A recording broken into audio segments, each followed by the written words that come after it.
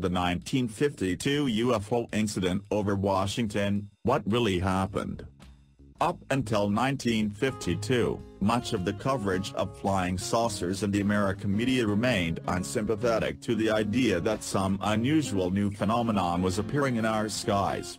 That was the case, at least, until Saturday Night Fever erupted over our nation's capital, marking one of the most well-known, and often written about UFO flaps in American history. It was almost midnight on the evening of Saturday, July 19, 1952. Air traffic controller Ed Nugent, not to be confused with a particular raucous guitarist with a similar name, was working the tower at Washington National Airport when he observed something odd on the radar screen in front of him. It appeared to be a group of six or seven slow-moving objects moving together over the region, well outside the flight paths of any known aircraft, military or civilian, in the area at that time. At that time, it had been treated as something of a joke, Nugent reportedly told his supervisor, tongue planted firmly in cheek, that he had just spotted an entire fleet of flying saucers. However, shortly thereafter another of the ATC operators noticed something odd and out of place, a strange light in the distance, which appeared to accelerate and disappear at incredible speed. Thereafter, the incident received notable coverage in the press, with many articles emphasizing the USAF's apparent interest in the matter.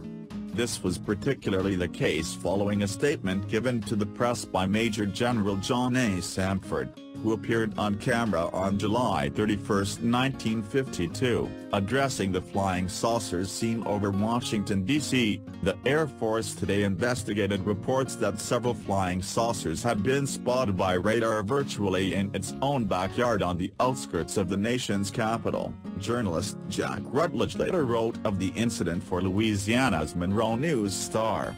Not only were unidentified objects seen on radar indicating actual substance instead of merely light but two airline pilots and a newsman saw lights fitting the general description of flying saucers the same night. Indeed, a number of pilots claimed to have seen lights similar to those observed from Washington National Airport.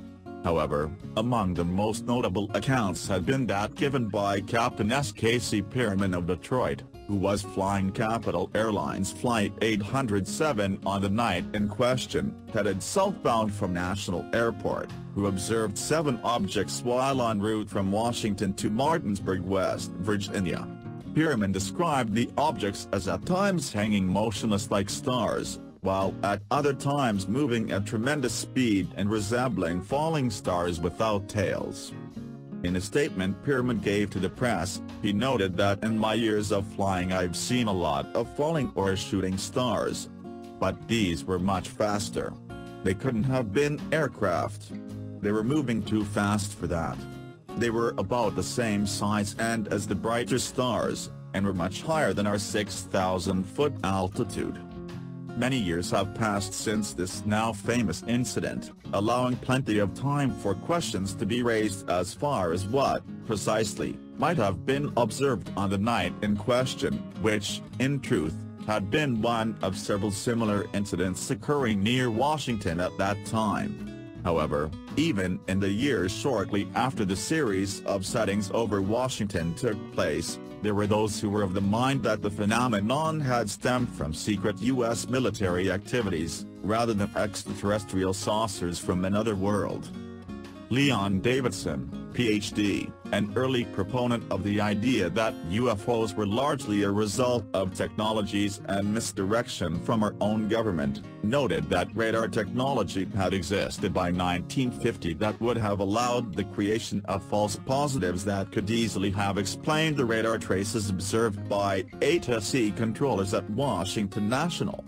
The question, rather than being one of what the objects were, was one of who might be behind such activities, which were apparently intentionally aimed at confusing the public, the media, and even members of the military. Davidson wrote an interesting article on this, which appeared in the Saucer News in 1959, titled ECM plus CIA equals UFO, or How to Cause a Radar Sighting. In it, Davidson wrote. By about 1950, ECM, electronic countermeasures, was standard equipment on our advanced bombers and was being developed for missiles. Advertisements started to appear about 1956 showing that this equipment could be used for creating simulated targets for training radar operators. I quote from an article in Aviation Research and Development, March 1957, page 22, a new radar moving target simulator system, which generates a display of up to six individual targets on any standard radar indicator, has been developed to train radar operators, and for in-flight testing of airborne early warning personnel. Target positions, paths, and velocities can simulate realistic flight paths. Speeds up to 10,000 knots, about 11,500 miles per hour, are easily generated. The target can be made to turn left or right. For each target there is adjustment to provide a realistic scope presentation. The reader should keep this quotation in mind when reading about radar sightings of high-speed UFOs. Davidson raises a number of good points, and the description he provides does resemble the circumstances presented in a number of the better-known UFO radar reports from over the years. However, if the objects in question had indeed merely been the result of such experimental war games being carried out covertly, as Leon Davidson suggested, the CIA was a favorite culprit for the St. Davidson's narratives, can the idea of physical lights observed by pilots be similarly explained in some way? We may never know the full story behind the objects seen and tracked on radar over Washington in 1952. However, when it comes to military technologies used for misdirection of the public, nothing can be ruled out, as Davidson was already suggesting within years of when the initial sightings took place. In the ever-complex annals of ufology, one thing that should always be kept in mind is that if there's a will, there's a way.